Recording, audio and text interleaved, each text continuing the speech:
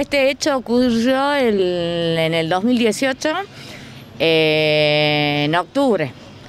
Eh, el 14 de octubre, al cual una persona, eh, chofer de la empresa GM, Marcelo Abaday, el cual no tenía ningún tipo de contacto, nada, pero el tipo me, o sea, frecuenta, o sea, un 204 por donde vivo yo, pero jamás lo he visto, no frecuentaba esa línea.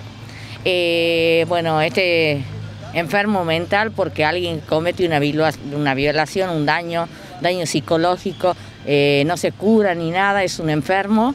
Eh, la luché, la luché y la luché. no conseguía que el fiscal Costilla me diera, porque a la, causa estaba, la tenía él, Empecé con las marchas por Micaela, por todos, hasta que un día lo agarré en la calle y le dije que yo quería justicia porque él era pagado por el Estado para defenderme. En el cual me dio una cita y bueno, le dije que yo iba a empezar con marchas y todo eso y dije, bueno, me dijo, bueno, listo, lo elevo a juicio, así. ¿Qué carátula tiene la causa? Eh, eh, abuso sexual con asexo carnal seguido de muerte porque después de la violación me llevó a Pirquitas y me intentó matar. Eh, fue algo aberrante, eh, bueno, esto ocurrió frente al cementerio, algo muy... Eh, viste que vos seguís la ruta 38, que hay antes de llegar a la comida, al destacamento policial, hay un cementerio privado en el cual ahí ocurre todo. En el momento de que yo la lucho, la peleo, todo, llega un móvil policial y yo pedía auxilio, toda alumbra con la linterna y se va el móvil policial. Dije, Dios, estoy salvada. ¿Qué es?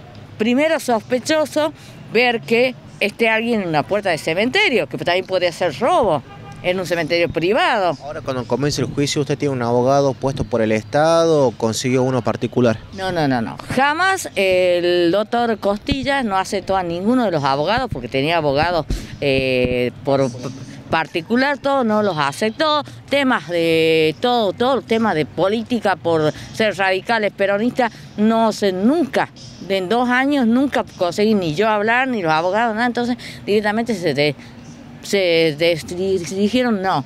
El Estado tampoco, el Estado da abogados directamente a los que son lo concreto es que esto llega a juicio y lo que usted quiere que sea justicia, que esta persona sea condenada. Exactamente.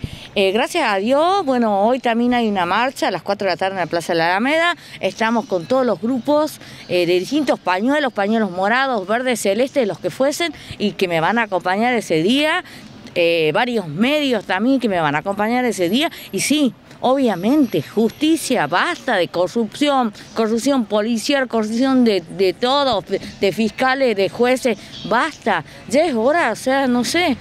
O si no, ya no te queda otra que hacer justicia por manos propias. Y le pido a todas las mujeres la valentía para denunciar y que entre todas vamos a poder, ahora que se unimos y si hay marcha, hay distintos grupos, entre todas le doy ánimo. Esto me dolió, no se cura pero sí te da fuerza para seguir adelante. Me hizo más fuerte y sigamos adelante, mujeres, no se queden calladas. Por favor, justicia y justicia.